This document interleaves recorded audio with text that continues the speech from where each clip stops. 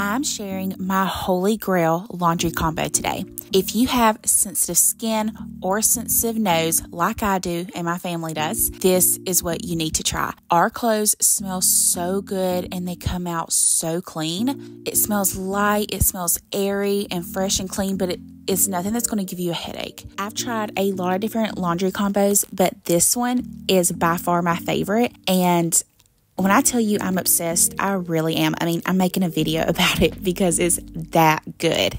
And if you don't know who I am, my name is Brittney. I'm a stay at home mom to two boys. One of my son is autistic, and I share a lot about that journey.